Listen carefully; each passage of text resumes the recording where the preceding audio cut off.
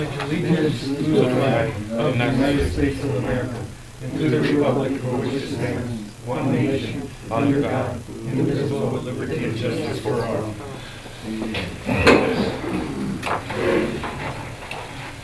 Okay. We'll start off with the roll call. Mr. Ben Miraz, Present. Mr. Terrence Lay, Present. Mr. Garza has not arrived yet, Mr. Tony Galindo, Present. Mr. Ralph Fabry, present. We have Pete Barnier here, and Nancy's here, Mr. Legretti's here, and Bill Biller's here, and Eva, the secretary, is here. And Mr. Garza has just arrived, so that gives us a full board. Okay. We need uh, minutes of the meeting held October 21st. If I may, Mr. President, we cannot make a motion on the minutes, on the minutes held because they're not. Oh, they're not, yeah, that's right, Eva, yeah, I forgot, Eva. I Too much on my mind. Okay, so then we'll just go down from report business office for number one, check warrant 110410 SW Sanitary District Wastewater Division.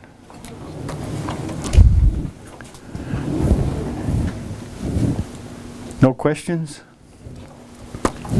A motion, a I'll make motion, a motion to accept. all right, Mr. Galindo, all right, Ben seconds it. All in favor, say aye. Aye, motion passes. Second check warrant is 110410 SR Sanitary District Wastewater Division. Questions or a motion to accept?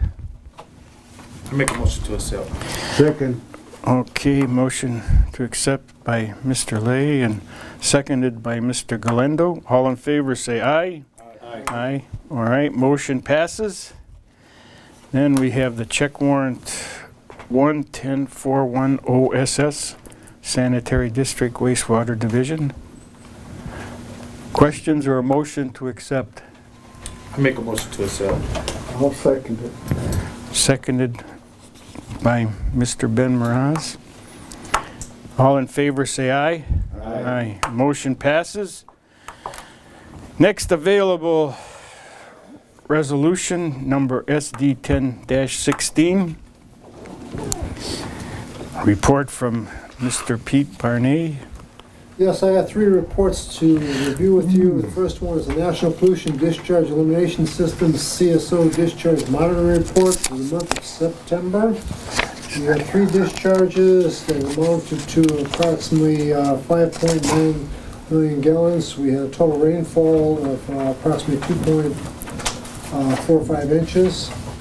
Second report is our monthly report of operations for Acton Sludge Tank Wastewater Treatment Plant. And uh, we'll go over a few of the key items here. Uh, For percent removals or total treatment, uh, uh, uh, First is uh, overall removal of uh, biological oxygen demand, carbonaceous, we had 93.7% removal. Total suspended solids, we had 98.6% removal.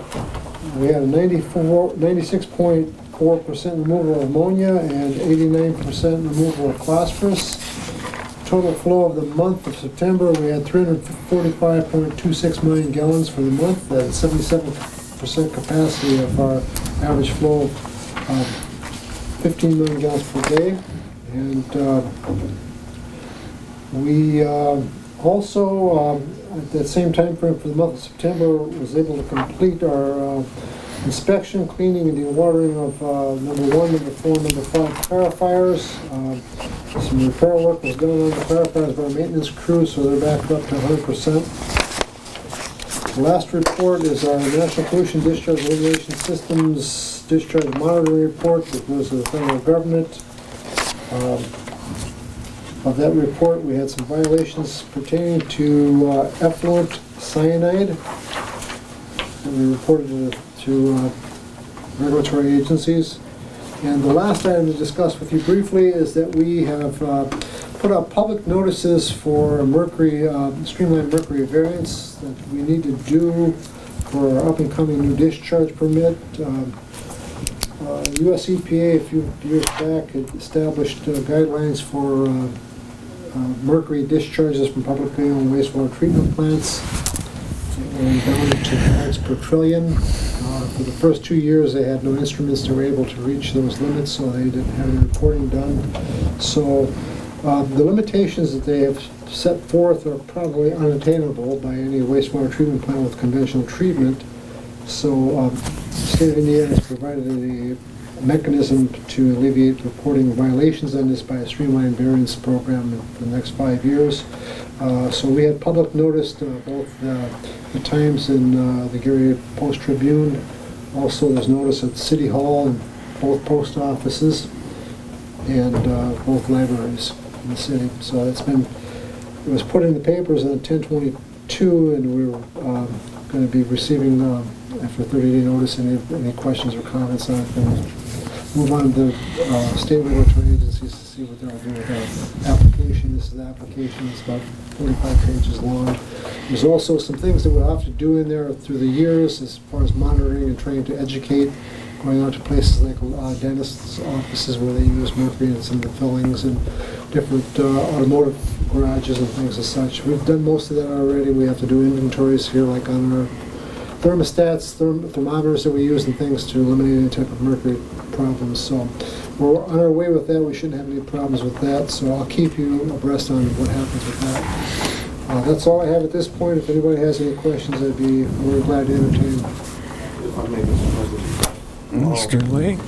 Pete, so we are in compliance with the federal guidelines?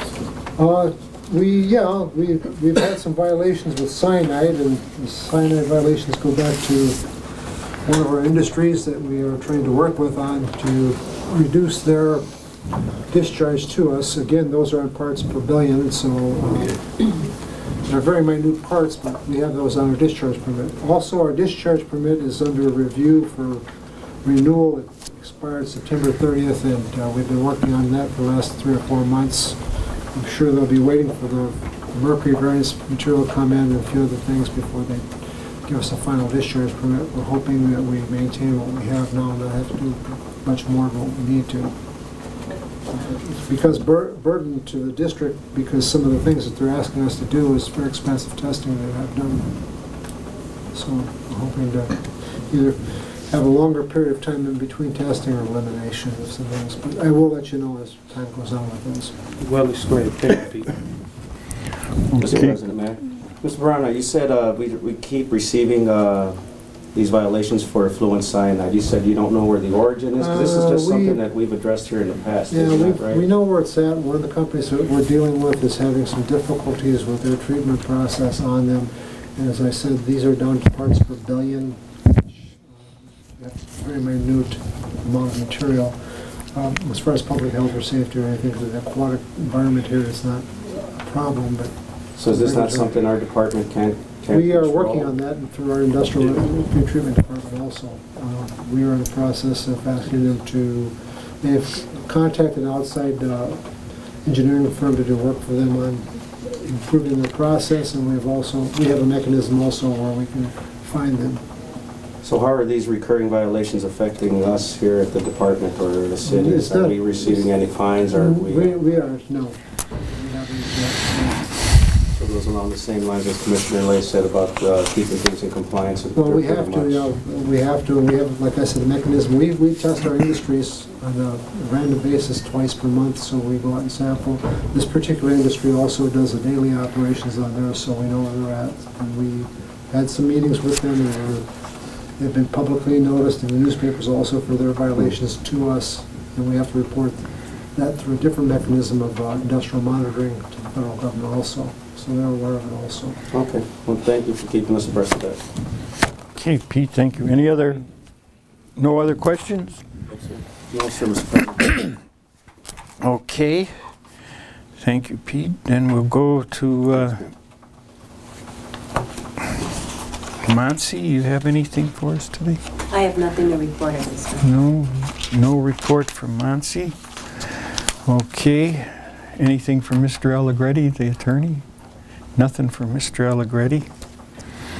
Anything from uh, financial consultant, Bill Biller? No, sir. Okay, thank you. So then we can uh, go down to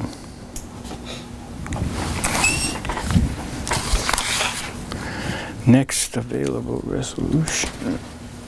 Excuse me, Mr. President, We have to, what? Are we gonna discuss anything from the uh, COO, or is that something you would discuss, Mr. Barane, or? I don't have anything at this point, um, except with the water board meeting that we had earlier, that uh, we're moving along with the of the treatment facilities, um, the filtration plant. It was reported they're about sixty-three percent completed at this point, so they're moving forward on that. As far as the district goes at this point, I know we don't, I don't have anything else at this point to discuss. Mr. President, may I? Oh, sorry. So, uh, from here on, just for, for the record here, you are going to be, um, giving the report on the utility division Yes. in general? Yes. Okay. So you'll be given both reports? I know this is our first meeting with Right you now, being in yes. the, at the, at the charge here in the helm. And, uh, I just was wondering how that was gonna work. For right now, yes. Yeah. So you'll be doing your, your part for the manager, and then, uh, you'll be doing the utilities division matters as well? Yes, Okay, well, welcome aboard. We had thank you. twice the fun. Yeah, oh, yeah.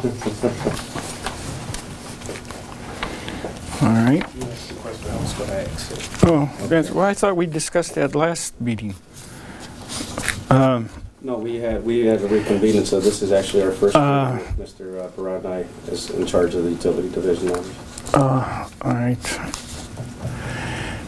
So then we'll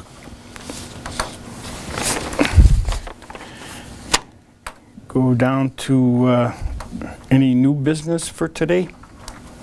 I suppose we already covered that. Any unfinished business? Any public comment? No comment? Nobody has comment? Next meeting is two weeks from today, November 18th, 2:10 at the noon time, same place. So then we'll just need a motion for an adjournment. I'll make a motion to adjourn. Second. All in favor, say aye. Aye. All right, motion passes, meeting's adjourned.